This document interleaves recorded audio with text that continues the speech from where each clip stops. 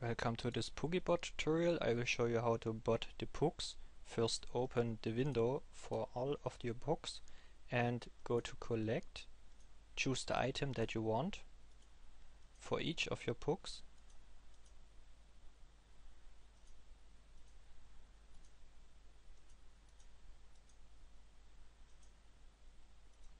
And then we go to shortcuts and make sure that those two shortcuts are correct.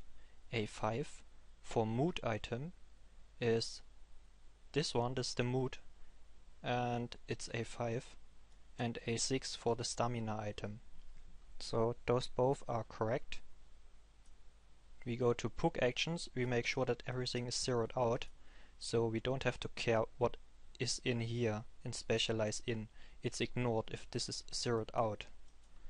And everything is checked in here, we can check this PukBot and start the bot.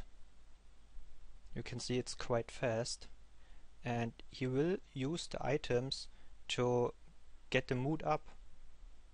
Here you can see that he's trying but the cooldown is still there as you can see down at A5. Now he can use it and he does and sends the first puk to collect items.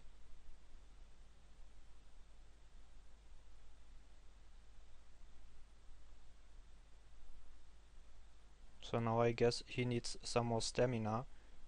You would now have to go to details to see this, but the bot knows this already.